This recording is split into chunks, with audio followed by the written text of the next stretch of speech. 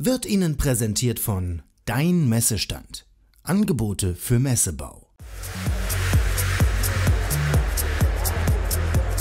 Herr Kückelhaus, Sie sind ja ein Unternehmen, was viele, viele Menschen braucht. Ja? Nun wissen wir alle, die Gesellschaft wird älter, wir kriegen mehr Rentner, weniger Arbeitskräfte. Wie wollen Sie denn das lösen, wenn Sie nicht mehr genug Menschen kriegen, die für Sie arbeiten? Ja, eins der wesentlichen Themen, was wir auf unserem Trendradar haben, ist das Thema Robotics und, und Automation. Das bedeutet, hier sagen wir, ähm, dass diese Technologie notwendig ist. Wenn wir heute mal so ein typisches Warenlager sehen weltweit, dann ist, sind 80 Prozent dieser Warenlager rein manuell betrieben. Das bedeutet, hier brauchen wir Technologie, um auch der gewachsenen Nachfrage gerecht zu werden. In der Vergangenheit haben wir hier Roboterlösungen gesehen, die immer in einem Käfig drin sein mussten äh, und nicht mit Menschen zusammenarbeiten durften.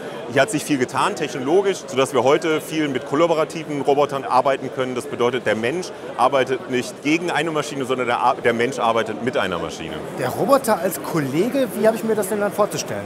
Klassisches Beispiel, äh, wenn Sie einen Kommissionierungsvorgang haben, ein Produkt zu identifizieren, das können Sie immer noch am besten mit Ihren Augen.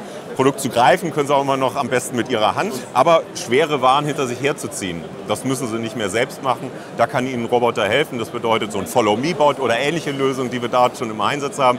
Die können hier helfen, unsere Mitarbeiter von den, ich sag mal, sehr schweren Tätigkeiten auch zu entlasten. Das wird sehr interessant in der Zukunft. Vielen Dank.